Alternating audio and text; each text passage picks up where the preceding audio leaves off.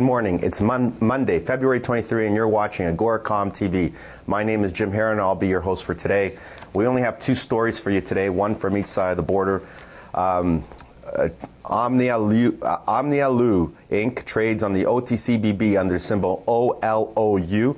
They reported Q4 and full year uh, 2008 uh, same store sales results. Uh, OmniaLuo Lua is a China-based company engaged in, in the business of designing, developing, and marketing and distributing fine women's apparel. And they announced today fourth quarter full year 2008 uh, same store results. In dollar terms, same-store sales fell by approximately 0.2% in the quarter, but in the full year, they rose in aggregate by approximately 79%.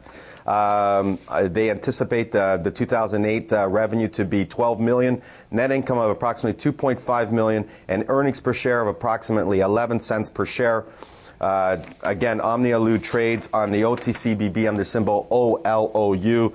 They closed at 37 cents on Friday. 52-week high and low, $1.95 to 36 cents. They have a market cap of $8.45 million.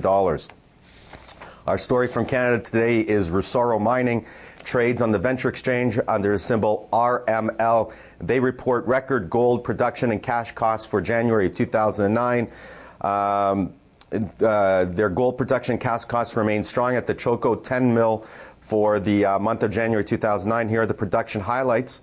Uh, group-wide, Rusoro produced 14,835 ounces of gold in January, which is a record, compared to 14,261 ounces produced in 2008, uh, December of 2008 uh, and 38,868 uh, 38,868 ounces of gold produced in Q4 2008.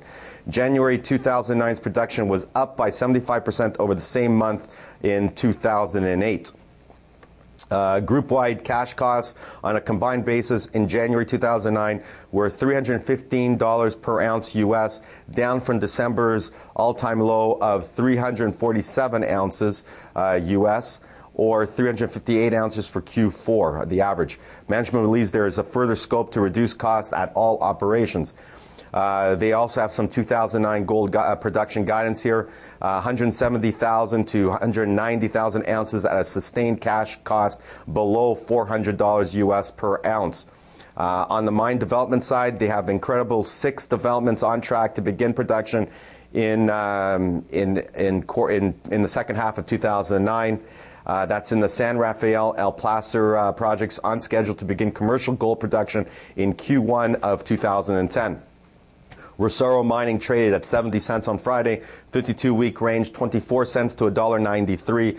They have 252.3 million market cap. Again, that's Rusoro Mining trades on the Venture Exchange symbol RML. Those are our two stories for you today. We have no halts to report on.